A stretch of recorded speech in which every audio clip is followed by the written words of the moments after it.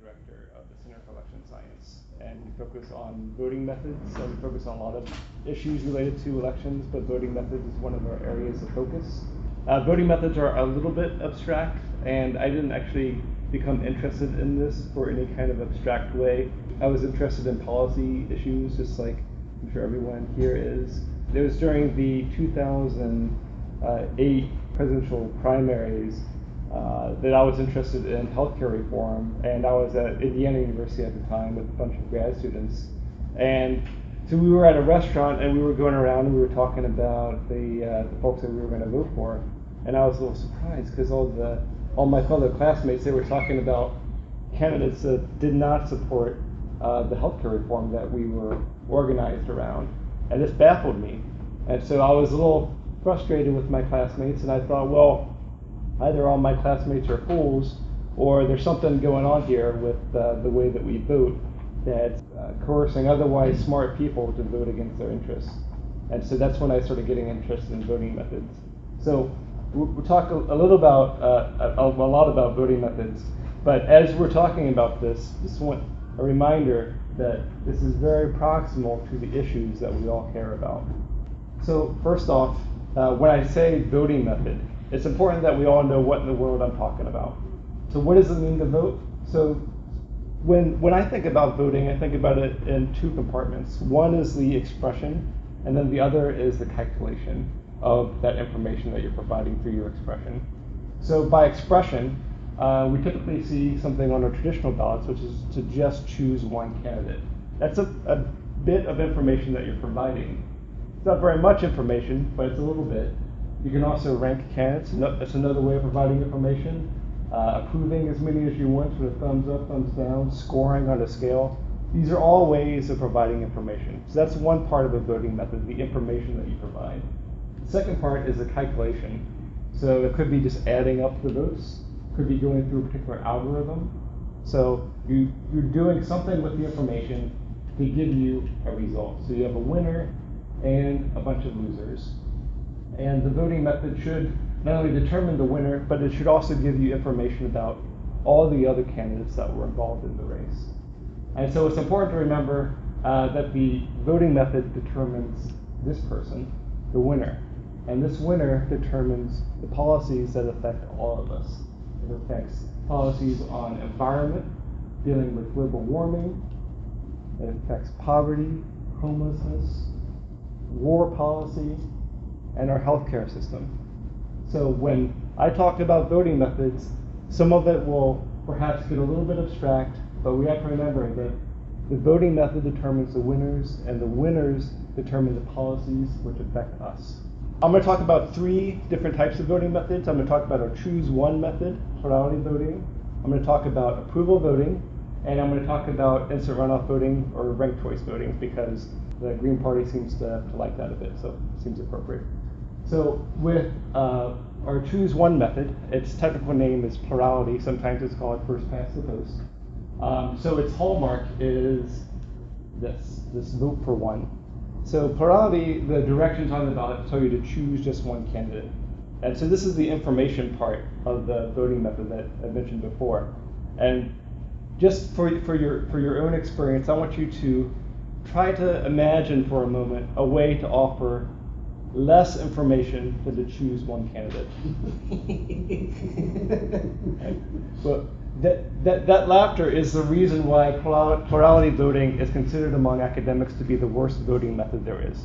Because you start off with uh, practically no information, and then for some strange reason, we, have, we, we expect a good result to come out of it. And it doesn't happen, as we, we all recognize. Plurality voting, you choose one candidate, and then you uh, you add up uh, all the all the votes. So, uh, what are some of the minuses about plurality voting? So let's just imagine for a moment.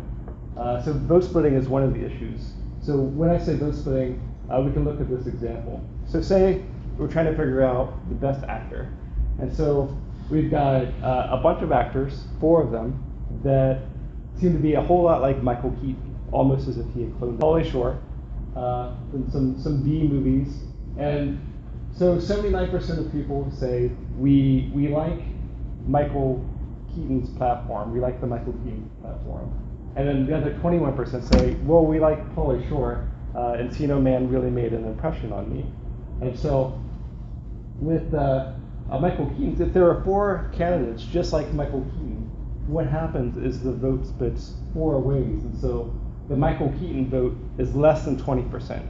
And even though people overwhelmingly like the Michael Keaton platform, split four ways, less than 20% is less than Pauly Shore.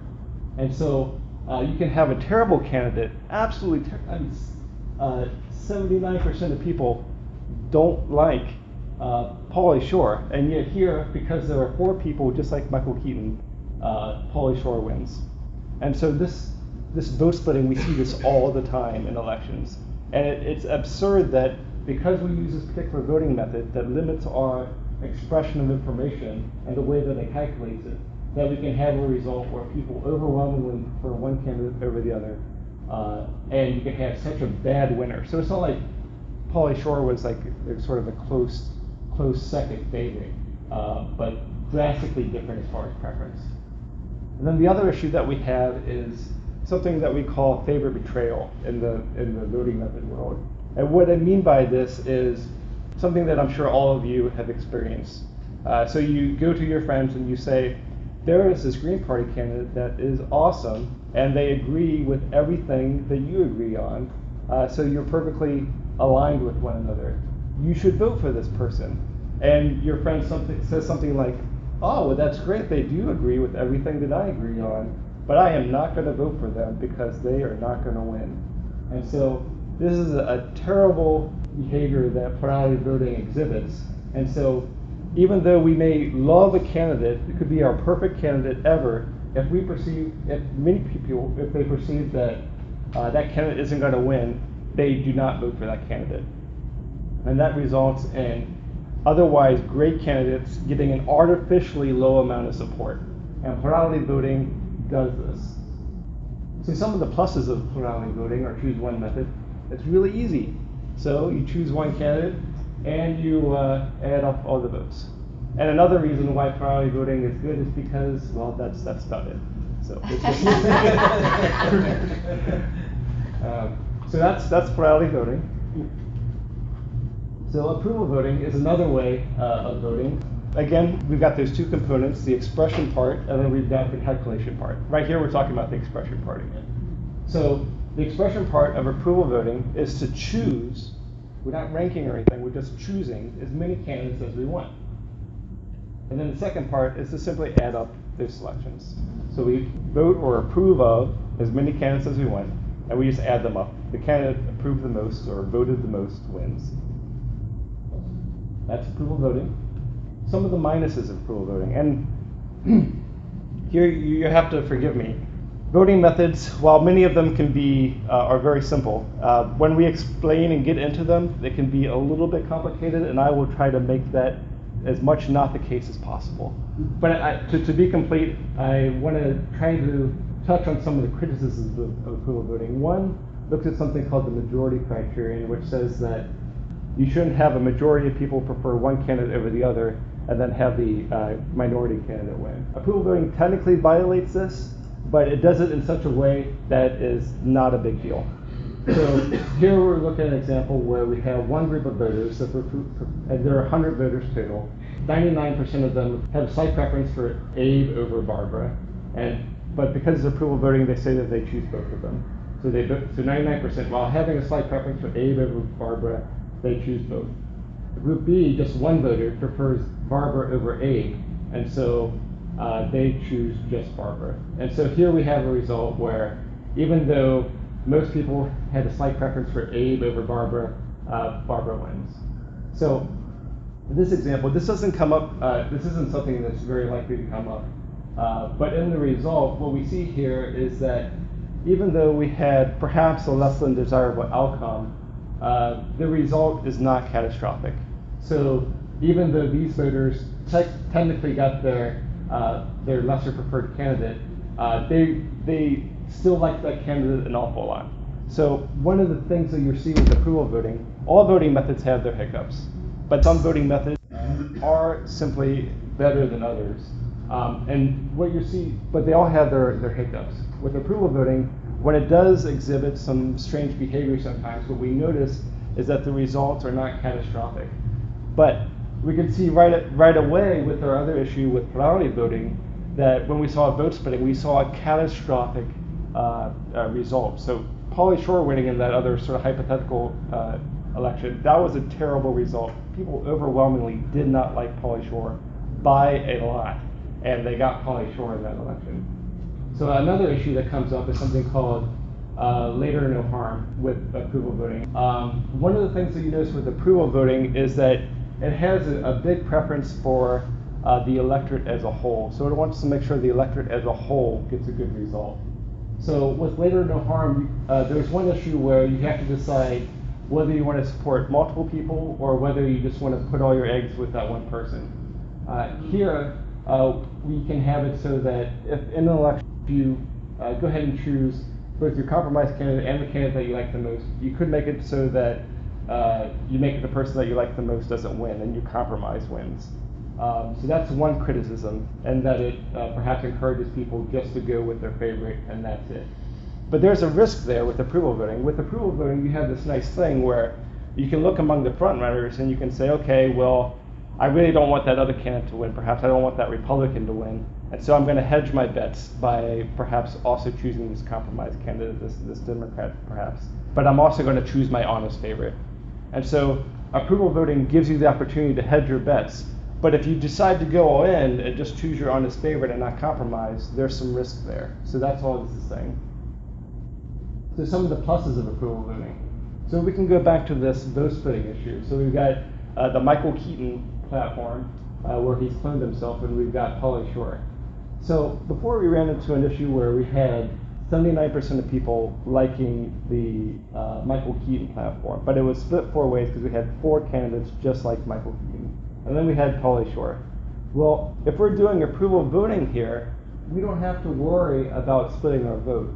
If we're indifferent as to which Pauly Shore uh, wins, or if they're all pretty close to us, uh, if we like all the Michael Keatons and, and we're pretty indifferent, or uh, we don't have very strong preferences among them, but we really don't want Pauly Shore to win, well, we can go ahead and support all of the Michael Keatons, and our vote isn't split anymore. And so this voting block stays cohesive, whereas before it's split up and you have a vote splitting effect where a highly undesirable candidate wins. With approval voting, you don't have to split your vote up. This is especially helpful in primaries when you have a lot of candidates that are running that happen to be similar. The other issue that we saw with plurality voting was the favorite betrayal issue, where uh, you can't choose your honest favorite in some cases. Well, with approval voting, we do not have to worry about that this idea of always being able to choose your honest favorite, this seems like something that's pretty simple and that most voting methods should allow. Well, it turns out that mathematically it's actually really difficult for a voting method to be able to have this property of letting you choose your honest favorite no matter what. And that's exactly what approval voting does. It doesn't matter what the situation, it is impossible to have a situation under approval voting where it hurts you to choose your honest favorite candidate. So if you go into an election, there's a Green Party candidate, and they're using approval voting, it doesn't matter if that Green Party candidate is not going to win. Uh, it doesn't matter if it's an independent and everyone hates that candidate. If you like that candidate under approval voting, you can always choose that candidate. And if you want to hedge your bets by having a say in the outcome, you can still do that. Uh, approval voting gives you that freedom, so you can always choose your honest favorite. Ranked choice voting. This is one the Green Party uh, has a, a bit more of a background with. So with ranked choice voting, uh, there's the expression element. So with voting methods, there's the expression, there's calculation. Ranked choice voting it lets you rank your choices. But notice, in, uh, and also ranked choice voting uh, has other names like instant runoff voting. Um, so we're all talking about the same thing here. In practice, though, with ranked choice voting, the expression element limits you to choosing just your top three choices. So you're, you're giving your expression of your first three preferences in order. then the second, the calculation element, this is uh, a bit more complex. Instant runoff voting, it takes the, that information, those rankings, and it, it uh, pushes them through an algorithm. It looks at the information and says, uh, look at the first choice uh, votes of the ballots, and is there a candidate that has more than half of the first choice votes? If yes, that candidate wins. If not, you look at the candidate with the least number of first choice votes, and then you eliminate that candidate, have that candidate's ballots transfer over to their second choice votes, and then you now treat them as first choice votes. Now you look at all the all the all the ballots, and you ask them uh, of the remaining ballots that are there, do the first choice votes are those greater than half for any particular candidate? If yes, you have a winner. If not, you go through that loop again. Calculation is a little bit more uh, complicated with instant runoff voting, and there's some key points in here too that are important. The first step, looking at the first choice votes. So it, it looks right off like in the expression part that you're providing a good amount of information. So you're providing your, your choices for the top three, but the algorithm at any one point, it's only looking at a part of the information. It's only looking at the first choice votes. It's not looking at the rest of the information. So the second choice votes, those aren't on instant runoff voting's radar uh, at, at, at, any one moment. The same thing for the rest of the ballot. The other part, uh, you look at the votes of the remainder. So as this process goes through, you get ballots that are exhausted. Uh, you have people that don't rank their entire ballot and so uh, ballots get eliminated. So when it asks that question each time in its algorithm, does any candidate have more than half of the first choice votes? It's only looking at the remainder of the active votes. So uh, sometimes you hear the idea that instant runoff voting always gets a majority, but it's important to recognize uh, that, that within that claim, it's only a, a majority of the remaining ballots, not all the ballots that it started with. So.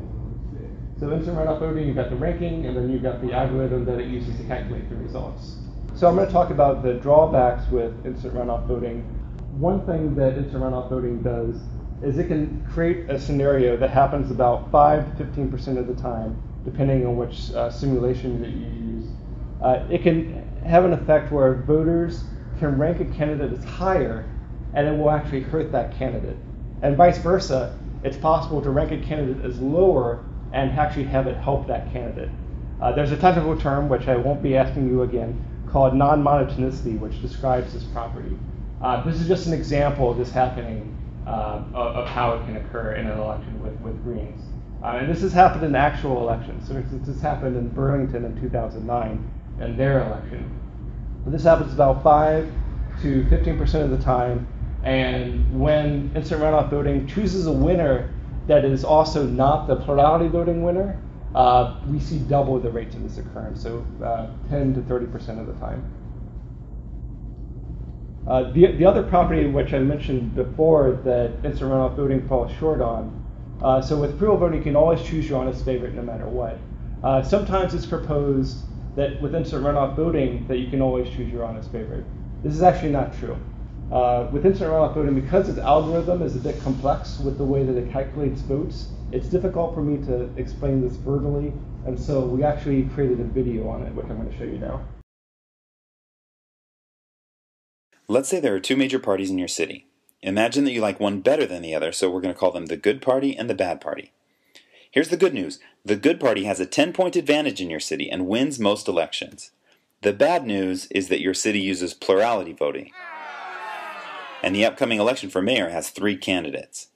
And you really like the independent candidate this time. Even though he's your favorite choice, you know you can't vote for him.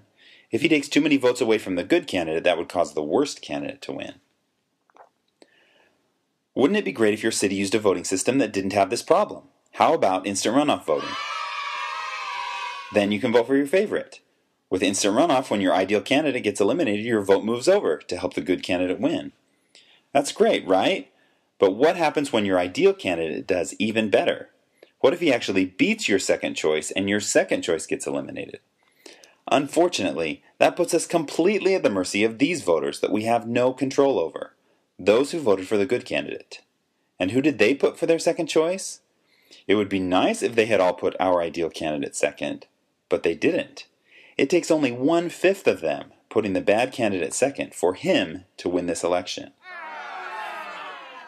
What happened here? Doesn't instant runoff eliminate the spoiler problem? It turns out that putting your favorite first in instant runoff is only safe when your candidate is very strong or has no chance at all. In between, there's a good chance he will have to face your least favorite candidate before he's ready. In this way, putting your favorite candidate first can cause your least favorite candidate to win. Ouch. In fact, if you and some of your fellow idealist supporters had forgotten to show up, then your favorite candidate would have been eliminated, but your second favorite candidate would have won. Does this problem happen in every election? No, this does not happen in every scenario. It doesn't happen this way when the third candidate pulls supporters from both of the major candidates equally, but it does happen whenever he pulls mostly from one and not the other. Hmm. To me, that sounds like a lot of the three way elections in America. What about later no harm? Instant runoff advocates are fond of quoting the later no harm principle. Adding a second choice, third choice, or more to your ranking will never hurt your first choice. Guess what? This is completely true. But note how carefully it's worded. It never says that it's safe to put your favorite candidate for your first choice. With instant runoff voting, your first choice has to be a safe candidate, someone who can beat your least favorite. Putting your favorite candidate first might cause your second choice to get eliminated and your third choice to win. So later no harm is great, but it's not a promise that it's safe to put your favorite first. Be careful voting for your favorite with instant runoff voting. You might eliminate the strongest candidates and cause your least favorite candidate to win. If you want a voting system that avoids this problem, then you care about the favorite betrayal criterion. The favorite betrayal criterion says voters can never get a worse result by expressing the maximum support for their favorite candidate. Approval voting is one system that passes the favorite betrayal criterion. So that looks favorite betrayal and demonstrating that instant runoff voting actually does not pass the favorite betrayal criterion, uh, and that it's not always safe to, to rank your honest favorite as first. Uh, a property which approval voting does pass every single time. So some of the pluses of instant runoff voting. Now, plurality voting, our choose one method, is an awful, awful voting method. Uh, and so it's very sensitive to screwing up, which it does all the time whenever there are more than two candidates. And it's very sensitive to the spoiler effect. Instant runoff voting, to give it credit, it does mitigate the spoiler effect. So when you have a third party that's not particularly strong, uh, it's not too it's not terribly difficult to have those votes transfer over to another preferred candidate. So it does mitigate the spoiler effect. So, and the other part is it's just not plurality voting. Uh, so, like I mentioned, uh, plurality voting is a terrible, terrible voting method. Uh, the bar is very low to beat plurality voting, and indeed, instant runoff voting is better than plurality. Uh, looking at some of the studies done on approval voting, so in 2007 there was a, a study done in France. Now we may not uh, recognize a lot of these names here, but there's a pattern that approval voting has. So here in 2007 we see two of the major party candidates uh, from uh, in France, and we see all of these are third party and independent candidates. Now, here it actually turned out that we had a new winner, which is not always the case with approval voting. It's uh, sometimes uh, the winner within the voting method is the same in all, practically all of the voting methods. Uh, a winner in plurality may very well be the same winner that you'd find in instant runoff voting and approval voting. In this particular election, what we saw, however, was that um, uh, a more moderate candidate happened to win under approval voting uh, compared to when just regular plurality was using. That's a common theme with uh, approval voting, is that it tends to favor moderate candidates. And for a particular electorate, the moderate candidates, and you can imagine a normal distribution of ideology from voters, a moderate candidate that fits right in the middle of that mountain of, of, of, uh, of voters is the one that represents them best. So whatever moderate means for a particular electorate, uh, approval voting tends to favor that candidate. And so that's how this particular candidate got so much support in this case because this is a moderate candidate, which approval voting tends to favor. Now, looking at all these other candidates, we see a huge growth in, uh, in support when using approval voting uh, compared to plurality voting. So here we see uh, almost six times as much support, eight times, ten times, nine times, nine times. You can imagine if the Green Party got five to six or seven times as much support as they do now, and the reason that this happens is because of that criterion, that favorite betrayal criterion. Approval voting can always choose your honest favorite. And the other nice thing about approval voting, the algorithm, the way that it calculates votes, it looks at all the ballot information. So what you're seeing here is all the information that people gave on, on their ballot all at once. You can't do that with IRV. Um, and, and, and, while you do it with plurality, you don't start with any information to begin with, so it doesn't even matter. Um, so here you see much uh, a much more accurate reflection of support uh, from third-party independents, which is a, a, common theme that we see in approval voting. Here, uh, 2009 study in Germany. Uh, here the result was the same with plurality and approval voting, but you see the same pattern here. All these third parties and independents, they all get a ton more support under approval voting compared to plurality. And again, that's because you can always choose your favorite in approval voting, and that causes third parties and independents to get a much more accurate reflection of support. And here we see another look at uh, a comparison, uh, which is an exit poll study done by Occupy Wall Street. Now here the, the numbers are going to look kind of strange. Uh, that's because it's in New York City, so if this seems like a little bit of a liberal electorate, that's because it is. So here we see uh, plurality voting, instant runoff voting, and then we see approval voting here. Now, what's interesting here is uh, when you look at plurality voting and you look at instant runoff voting, they look very similar. And that's because with instant runoff voting, you're only looking at a snapshot at any one point. And so here you're just seeing the first choice votes. Um, and so it, it, it's difficult to give you that reflection of support for, uh, for third parties and independents. So when we think about a voting method, it's not just important who wins. It's important to also see how the particular voting method gauges the level of support for all the other candidates, because that has a huge effect. Um, a lot of the time with uh, the media, they'll make this argument. They go something like, well, if your ideas were any good, you would have polled better or you would have done better in the election. You did terribly in the election, you polled terribly, and so your ideas must not have been any good. Uh, so that's the rhetoric that they give and the excuse that they give for exclusion. That is based on uh, a false assumption, and it begs the question as to whether the way that they measured that support was any good in the first place. And it wasn't. And the reason it wasn't because they used plurality voting, which is an awful, awful voting method. But when you use approval voting, and we see here uh, with approval voting, you have this is includes Stein. Uh, so Stein got under 4% with both IRV and plurality um, when, when you look at the, uh, the, the, snapshot that IRV gives. With approval voting, when you can see all the information at once, uh, you see uh, over 50% approval for Stein. Obama still wins in the landslide. Uh, but you, you, get that accurate reflection of support. So when third parties and independents are able to get that accurate reflection of support, you can't marginalize them the same way. You can't marginalize a candidate that's getting 20, 30, 40% of, of support. You can't keep them out of debates, and you can't call their ideas stupid anymore when they're getting that much support. So that argument they use doesn't work the same way anymore when you're using approval voting. I'll show you one quick video on approval voting.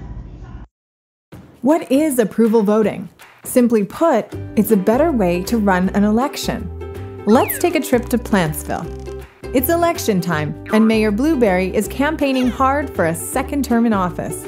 She won the last election with 65% against her opponent, Mr. Squash, and she still enjoys strong support. Once again, Mr. Squash is quick to challenge Ms. Blueberry. But this time, they're joined by a third challenger, Mr. Peach, who shares similar views with Mayor Blueberry. Mr. Peach sweet talks almost half of Blueberry's supporters into switching their vote to him while Mr. Squash holds the same 35% he had last time. The votes are counted. And what's this? Mr. Squash wins? Blueberry and Peach have split the fruit vote. How did this happen? Peach's supporters also like Blueberry, but couldn't say so on their ballots. A simple solution is to change the ballot from vote for one to vote for one or more, allowing everyone to state all the candidates they support. This is called approval voting. With approval voting, the election would have gone quite differently. Peach's supporters no longer fear that a vote for Peach will help elect Squash. Instead, they show their sincere support for Peach and also Blueberry. They want to prevent Mr. Squash from winning, and they do.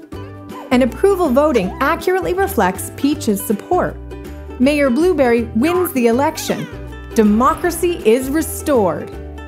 Approval voting is more than just a smart idea in Plantsville. It's a smart idea anywhere you vote. Approval voting is used by organizations across the globe, and for good reason.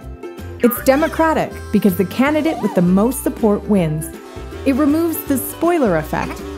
Even losing candidates get an accurate reflection of support. And voting your favorite never hurts you. Start the conversation on approval voting and share this video. Then join the Center for Election Science at electology.org. Better voting starts with you.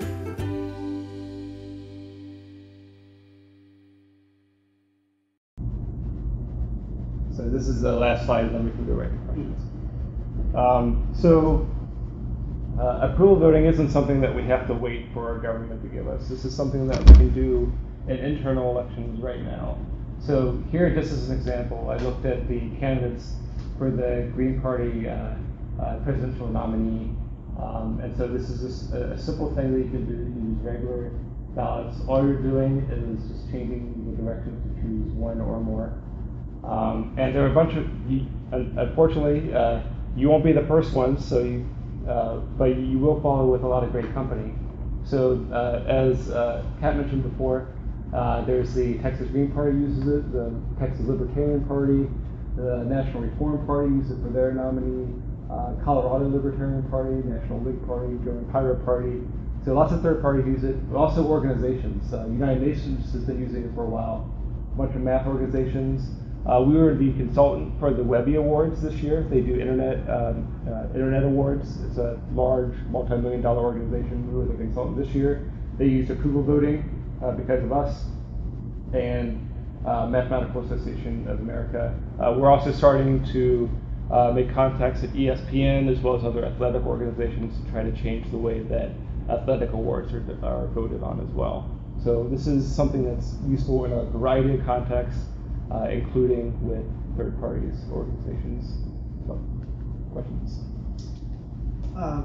This uh, it seems to make sense when you've got a, a winner takes all election where there's only one person elected. Yeah, this is a, that, that's a good point. This is uh, we're talking about this within the context of a single winner election. Yeah. So mayors and governors. Uh, yeah. Within multi-winner, like we have to have a completely different conversation. This well, is complicated. What, can can you give some idea of that conversation? Say say we're voting for. Uh, okay uh, members of the, uh, uh, uh, what do you call it? Like, the, like a city council or something? The, yeah, SC for, for, for, the Greens, where we've got two or three people on the, on the, that will be elected out of a, a, group of five. Okay. What do you, so a committee. What works for that? Okay. So if, if you're doing something like a committee, um, you have to ask a couple questions. Uh, so here you're talking about a multi-winner election. Three people are being elected at large all at the same time. Mm-hmm. Uh, so you have to think of what's important for you. Um, if you want your winners to be very similar and sort of grouped around the, the median of whatever the ideology or the feeling is of the electorate, uh, you can use what's called a block system. And a block system under approval voting is pretty simple.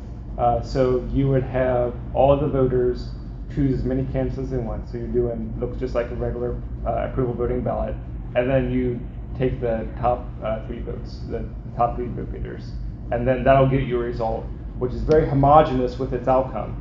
Uh, but they're all going to be clustered around the middle. Now, if you want a proportional result, um, proportional voting methods tend to get a little bit more complicated, and you can still do that with approval voting. So, say you want those three people that are elected to be diverse. So the first person that wins will be right in the center, and then you have the rest of people representing uh, groups that didn't get their say within the first person elected. And to do that, you have a, an approval voting ballot, so you choose as many as you want, and then uh, it'll get tossed through an algorithm which reweights the, the value of a ballot for people that got someone elected. And so they have a little bit less power within their ballot after they get someone elected, and that gives other people the opportunity to get someone elected. So that's how it works with the with the, in, a, in a proportional version of approval voting. How does how would uh, range voting or some other system treat that situation in terms of uh, getting people from the center or, or people from, uh, So, so score voting um, is uh, another is a, is a different voting method, um, and like Kat said, that uh, score voting score voting works by uh, you score each candidate on a range, say zero to nine, uh, and the candidate with the highest score wins or highest average. It doesn't matter. It's the the high- highest number Yeah, the highest score. Yeah. So the candidate with the highest score wins. Uh, and now, are you asking how that would work with the multi-winner context? Yeah, well, how would, what would that do in terms of getting a variety or people Yeah. from the center? Okay, so score voting, like approval voting, tends to favor moderate candidates or candidates that are aligned within the center. Um, so just like approval voting, uh, and uh, the, the way its block version would work. Uh, I, I would think that if the, if the bell curves, if the bell Yeah, curves yeah. for each of the, of the candidates was very skewed, that it could also give variety, couldn't it, to some extent? Uh, it'll hit you right in the median. So, yeah. yeah. Yeah. So, uh, approval voting and score voting, they tend to get results that are right around the middle. Right in the middle. Yeah, yeah. yeah. And that's important to say, whatever middle is for a particular electorate. So, uh, a moderate in San Francisco is going to be different than a moderate in rural Texas. Yeah, Mhm. yeah, yeah. So is score voting basically like approval voting? It's just a different kind of approval voting or what? Yeah, so score voting and approval vote, approval voting are both within the same sort of class of systems called cardinal systems. Um, Called what? Cardinal? cardinal systems, just the name Cardinal? Yeah, cardinal, like the bird. Um, Cardinal. and they uh, they tend to uh, both elect moderate winners. Uh, the way that it's scored uh, for a multi-winner election using score voting, if you wanted a block uh, outcome uh, that was more homogenous with your winners, you do the same thing. Just take the top three scores, and you do a similar effect with if you wanted a proportional outcome. Uh, you would sort of uh, You eliminate the vote, the you, you, you would you would dock the, the, the weight of a particular ballot once the once the voter got what they wanted. That way, other people got a chance to have their say. So it works similarly. Um, but now, as far as performance goes, approval voting and score voting, score voting works a little bit better as far as how it performs, but not a ton better. Uh, and that's why we mainly push approval voting. And this is what Kat said as, as well in, in her experience, is that while score voting tends to perform a little bit better than approval voting, approval voting is just so easy that it, you sort of just give up the slight performance uh, uh, difference and, and just say, okay, this is just so easy, we're going to go with this. How, how often is it likely that it changes the actual outcome? Uh, between score and approval voting? Yeah. Not very often. Uh, but when we say that, like, we're doing simulations of millions of elections. So we do computer simulations to, to sort of uh, measure how good a particular method is. And, and so we, um, In, in what percentage? Two percent, five percent? Uh, as far as difference of outcome, um, I can't give you the number off the top of my head. It's, it, it's also going to depend on the number of candidates that are running as well. Yeah. Uh, so those variables are something to keep in mind. Uh, and it won't give you a, a drastically different candidate. So uh, it'll be a difference between like one moderate A and moderate B. So it won't give you, uh, it won't be the difference between moderate A and extreme candidate A. Like it, it, it won't be that. So it gives you, it'll give you a similar outcome, but it'll just be a little bit different if, if it gives a different result. Yeah. So uh, clarification and a question. Um, When you say that uh, uh, scored slightly better, but um, it's much more complicated, you're referring to both one, one seat and multiple seat uh, um, elections? Yeah, yeah, Okay. both of them, yeah. And then my question is, what, uh, can you give us examples of where uh, uh, range voting or score voting is used? Um, score, we, uh, let's see. On, on our website, it has a bunch of them listed. Oh, okay. Uh, I'll check. Okay. Um, and we actually, for the Webby Awards, uh, for their first round, they used score voting. So, yeah. Yeah. Okay. Is there any way to sort of like, um, game the system? Like, does, does it, if you have somebody that just, or, or people that are not informed and they just go in and check everything, does that, does that skew things in Yeah, the first place, yeah. in the second place, or, or like, for instance, um, if there's primaries where you can go over to the other side and like, they, they wanna knock somebody off that's gonna be a strong candidate in the general election, you know what I mean? So they have everybody go in, they, they just, uh, uh, approve one person, Mhm. so that they make sure that that, you know what I mean? yeah, you, well, you can, you can, you can, it's risky to do that under approval voting. So you can perhaps get away with that a little bit more with, with another voting method, but with, with approval voting, if you go all in for your favorite candidate and you try to have someone else not win, well, you, you run the, the risk of your candidate that you really like uh, not winning and you don't get any compromise candidates as well. So it's a little risky if you try to go all in and not compromise as well.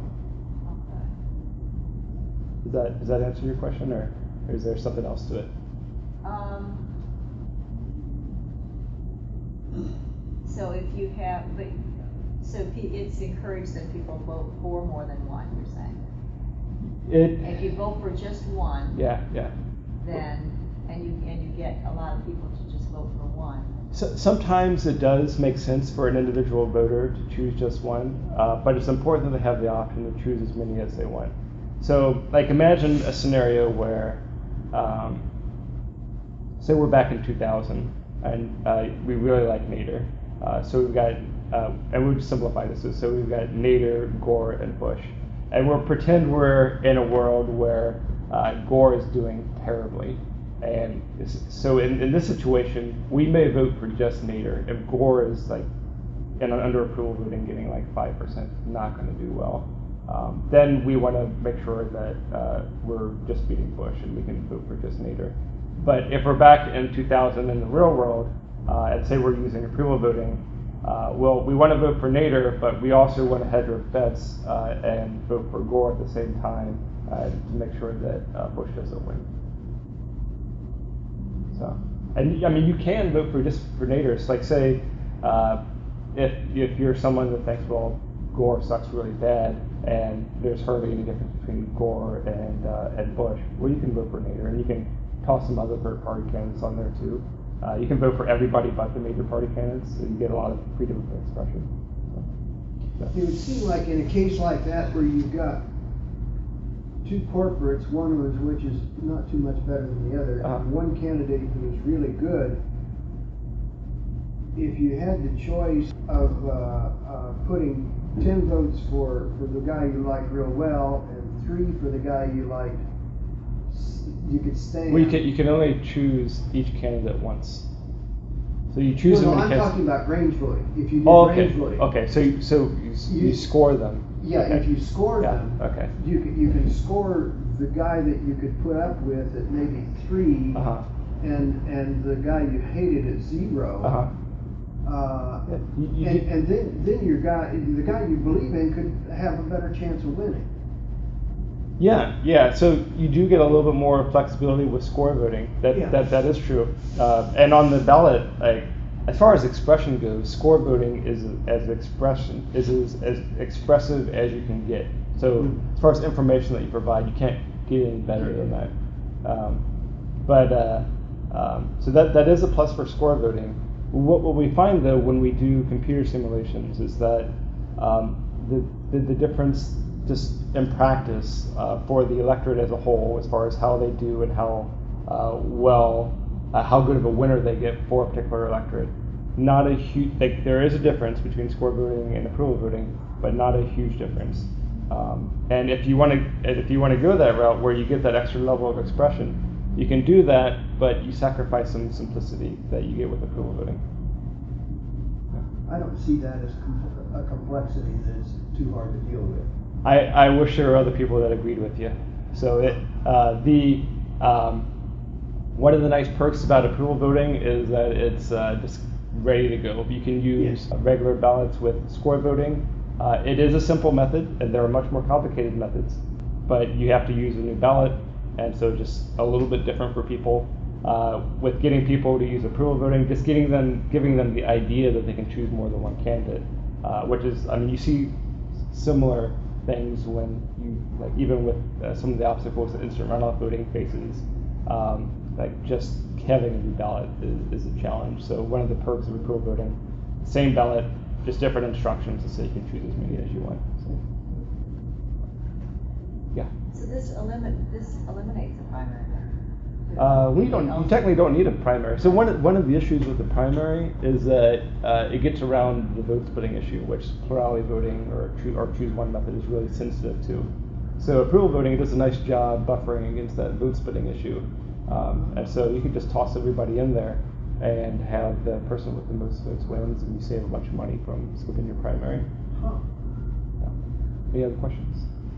What about if, uh, if, the situation where the, uh, Tea Party knocks off, uh, a, uh, a strong Republican, Mm-hmm. and that strong Republican then runs in the, in the election anyway? uh, in the general election. Well, sometimes uh, some states have, uh, I think they, they would call it sore lo- loser Yeah, laws. You can't do that in Illinois. Yeah, and, and they, they say that uh, you lose in the primary, you don't get to run again in the general election. Um, but let's let's pretend that's not the case uh, for some state that we're talking about. Uh, so the scenario is you've got a primary, uh, Republican primary, and Tea Party candidate wins, uh, and then And the Republican, the, the losing Republican runs as an independent. Yeah, yeah, and then they jump in for the independent uh, spot. Now, if we're using approval voting here, um, so we can talk about it in a different different situations. One whether one when approval voting is used in the primary, if you want to have a primary still, and then another when it's used in the general election. If we talk about it in the first instance when it's used in the primary, we should remember that approval voting tends to get you a more moderate winner. So if moderate uh, for whatever electorate happens to be the Tea Party candidate, then the Tea Party candidate may still win. But if it's not the case, then the winner would be someone that is more geared towards uh, uh, a moderate uh, candidate, whatever that is for that particular electorate. Yeah, yeah, and, and, and that, that'll actually probably be a pleasant uh, outcome for some Republicans because I'm sure they don't like being upseated by Tea Party folks. Uh, and then the general election, uh, again, approval voting tends to prefer the moderate. So uh, if uh, moderate does not mean Tea Party, uh, and that Republican is a little bit more moderate, that Republican will have a better shot in the general election um, if they're using a approval voting. Yeah.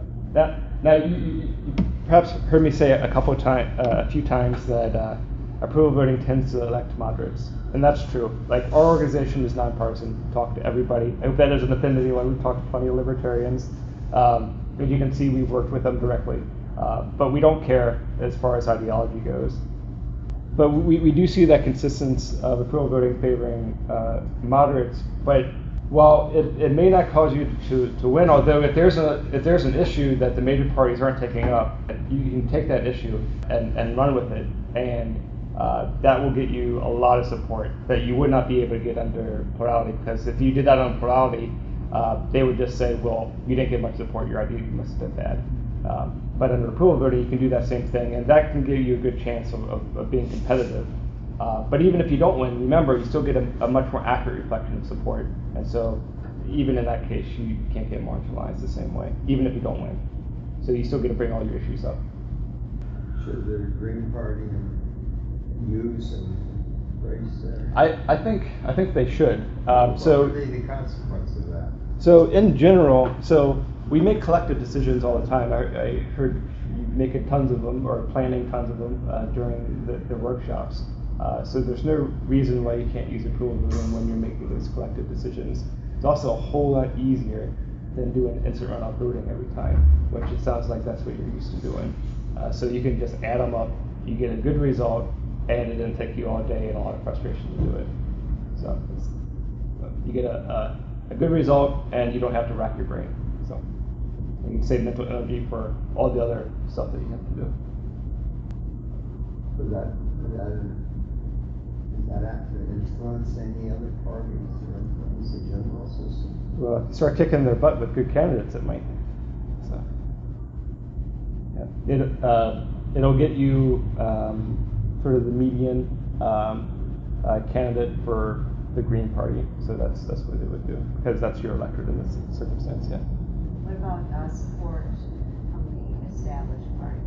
So would it would approval voting help them? Um, no, is there any support for moving to something like this generally? Uh, Or so like in practice? on- Yeah, Yeah, yeah. on that at all? So, uh, as, as far as getting voting methods implemented for government elections, um, with approval voting, this hasn't been done, done yet. Uh, we're actually uh, uh, working on developing a sister organization, a C4, uh, to push this more directly. Uh, we have been involved in uh, a, a number of pieces of legislation at the state level, which isn't strategically the, the best way to go, but it just happened to fall in our lap, and they asked, like, would you help us with this legislation? And we couldn't say no. Um, but the historically, the way alternative voting methods have been implemented have been at the local level. So you do a referendum where the city council says, uh, we'll sign off on this, you don't have to collect signatures, or you do an initiative and you go collect signatures and put it on the ballot. So historically, that's the way that it's been done. And because this is a single winner voting method, we'd like to, we'd like to see this uh, started with uh, small cities for their mayor.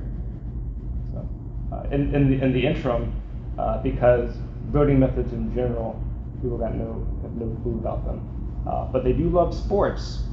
And so, uh, in, in the interim, what we're doing is we're working to have other organizations use smart voting methods like approval voting. Uh, that way, people are familiar with them. Um, so, so things like Heisman Trophy, MVP of whatever sport you like. Uh, yep, all, yep, yep. Actually, we uh, um, I, I wrote an article with our uh, chair, who's also uh, uh, a PhD mathematician, on the Major League Baseball Hall of Fame election process. Uh, so we did that for a sports blog called Deadspin, which is popular sports blog, and we came up with a, a way for the Major League Baseball Hall of Fame to induct new people. Um, that was a lot better than their current system that, that they're using. So it, that, that sort of indicates the variety of contexts that voting takes place in. And we'll be diving into all of them. That way, people have more familiarity with these systems. And they can start saying, well, if they use that for this and it works so well, why do we use this awful plurality method when we elect government? That seems so important. So that's, that's the tactical plan.